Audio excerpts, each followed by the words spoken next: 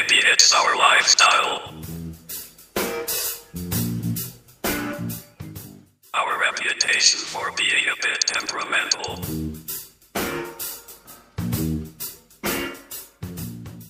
But it's not easy being a snake. Nobody likes you. Everybody hates you. Maybe on account of your diet.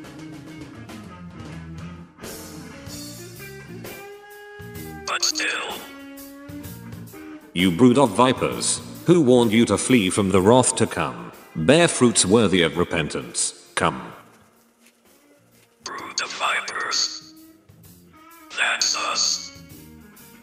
Actually, I'm a constrictor. But I doubt you'd appreciate the difference. We have no illusions.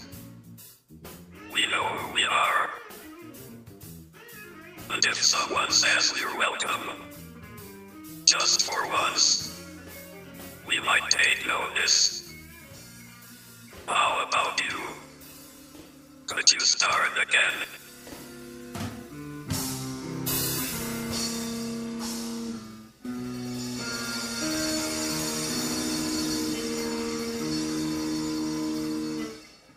Never mind, snakes. What about us?